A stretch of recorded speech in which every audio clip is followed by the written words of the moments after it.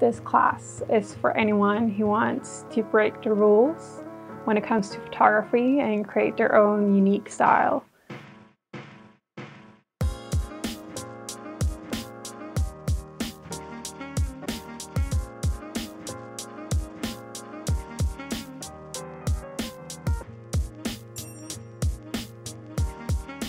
My name is Josefin Svedberg, and I'm a photographer, writer, yoga teacher from Sweden. In this class, we will go through different scenarios and what you can think about and how you can set up your camera and how you can think to emphasize different things and uh, also to do when everything goes wrong and you fail miserably and hopefully you will get us some happy accidents that I've gotten. I think one or Probably my favorite photos that I've ever taken are accidents that I have some camera settings that I didn't really know that I had and I take a photo and I think it turns out amazing. It's always more pure and more movement than a perfect photograph.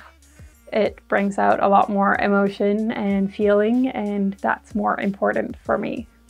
The class project that we're gonna do is to take three different photographs with different exposures and try to see if you can disobey the camera and take a photo that is a bit overexposed that you like and a photo that is a bit underexposed that you like and one that is normally exposed.